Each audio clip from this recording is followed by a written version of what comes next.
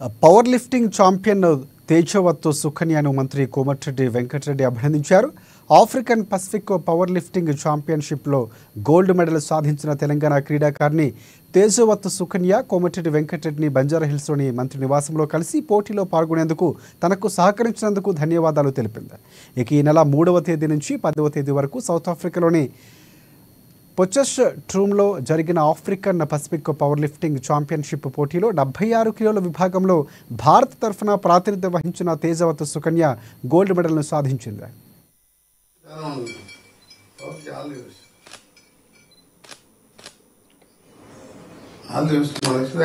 Gold medal తీసుకోవాలి okay right.